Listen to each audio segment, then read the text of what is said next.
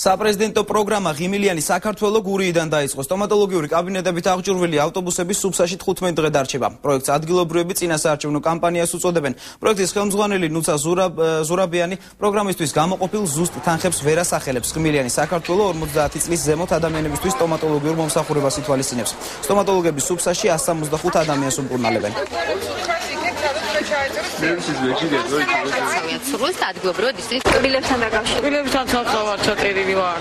და ვინ ჩაგწერათ? ისე ასვიანს გოგოები იყვნენ. სია ჩაწერენ? სადა?